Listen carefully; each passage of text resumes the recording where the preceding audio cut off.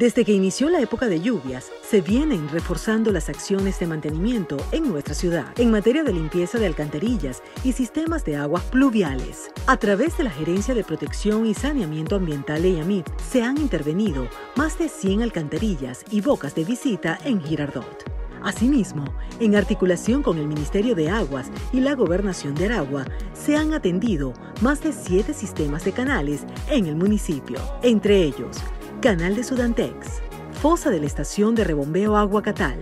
Canal Andrés Bello, Canal Andrés Bello, Tramo La Lagunita, Canal La Floresta, Canal La Esmeralda, Río Madre Vieja, Canal La Autopista a la altura de la urbanización El Trébol, Avenida Aragua. Gracias al alcalde Pedro Bastidas, seguimos trabajando en el mantenimiento preventivo de la infraestructura de drenajes de la ciudad.